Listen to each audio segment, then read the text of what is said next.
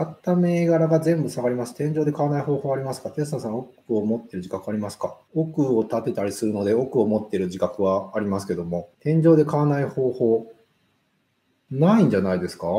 僕は買って天井の時もめちゃめちゃありますし、結局株価なんて目つぶって買っても2分の1で下がるわけですから、単純に深く考えがちなんですけど、あの、下がって銘柄が、ちょっと話変わっちゃうんですけど、下がった銘柄が、ここで切ったら、切ってこれがそこで上がったらどうしようとか、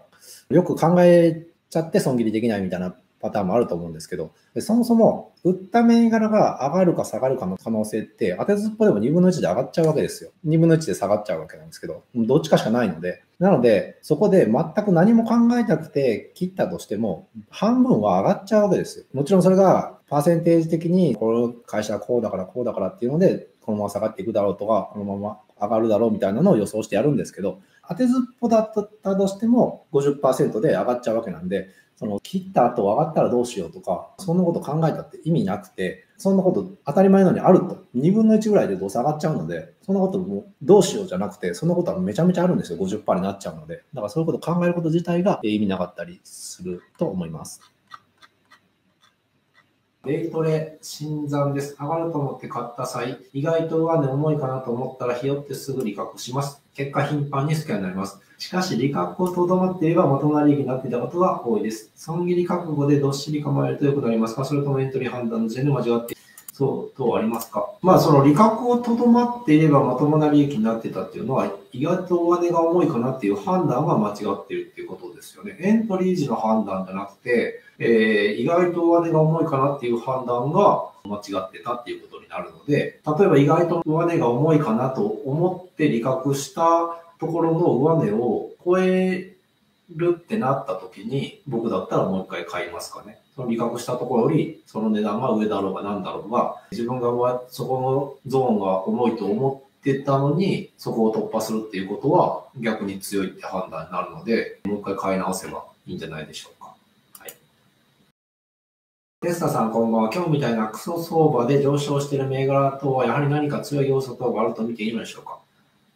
種類によるんじゃないですかね。その日経にもともとあんまり逆昔はよくあったんですよね。ディフェンシブ銘柄みたいな、逆に日経下がった時に強いみたいなのが流行ってたりあったりとかありますし、そうやって今日みたいな時に強いかったから買ったら明日2倍下げるみたいなとか、明日日経が上げたのに上がらないとか、まあ、いろんなのあるので、あんまりそれ鵜呑みに、今日は強いけど、どっちかって言ったらその次の日の方が大事だったりするんじゃないですかね。こんにちは。私の手法は大型株で損傷利大になるよう売買してるんですが、横ばいの相場のように大きく上昇または下落しない相場では損切り貧乏になってしまいます。テスさんは大きく上昇または下落するということはある程度売買前に予測できるのでしょうか予測できるのであればどんな指標を見られていますか？そうですね。まあ、その銘柄によりますよね。去年の海運とかきっと大きく上昇するだろうと思って、買ってますし、スキャンで入るときとかは当然そんな値幅狙ってないわけですから、毎回その買う理由って違うはずなんで違うべきだと思うので、毎回狙う値幅とか想定する値動きっていうのも毎回違うので、逆に言うとそこを固定してしまうと危ない気がします。固定してしまうとというか、固定した考えとの概念を持って取引してしまうと危険な気がします。それはもう毎回違って当たり前というか、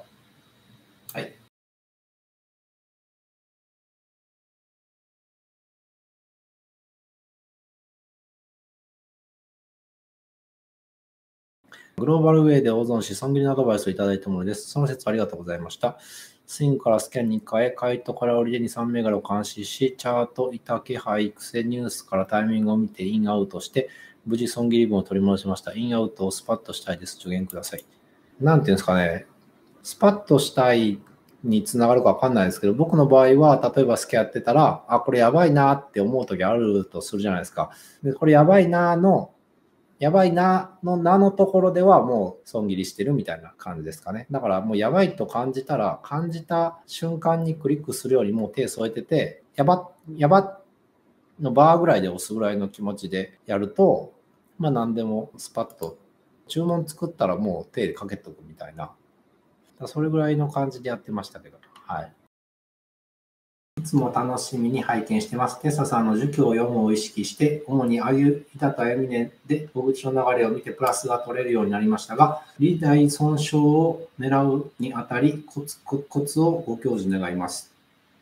もともとその尊大理想のところに入ってるかじゃないですかね。儒教を読んで、こあゆみねで大口の流れプラスっていうことは、一番最初のエントリーのところに、どこで損切りして、どこで理覚っていうのを考えたときに、あの、もうすでにそこで、損傷利大になってるかどうかをまず考える。それがなってなかったら、ちょっとだけ取れるみたいなやつだったらもう入んないぐらいの気持ちでやっても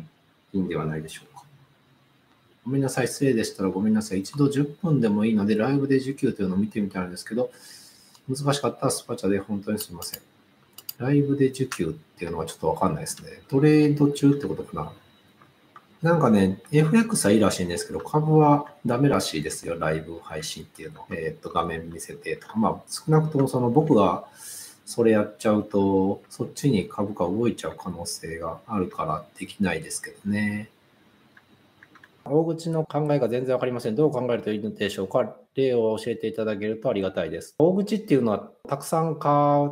うことが多いので、例えば大きな板が1回で買われたとか、120万株中100万株1人で買われたみたいな、後の板が5万株ずつぐらいしか上下ないみたいな、なると、その人は100万株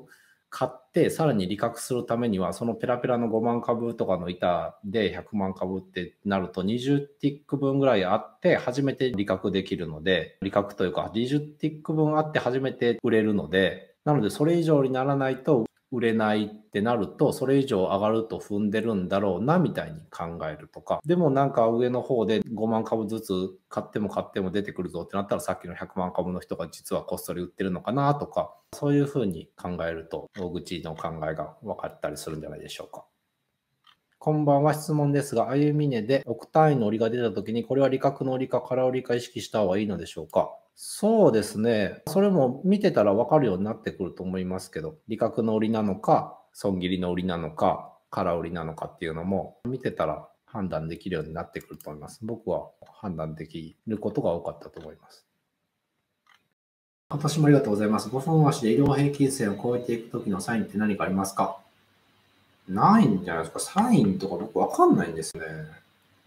野球じゃないんですから、サイン出ないでしょう。サインとかないと思いますよ。なんか本とか読むと書いてますけどね。なんとかのサインみたいな。あんまそんな考え方しないんで、サインとかわかんないですね。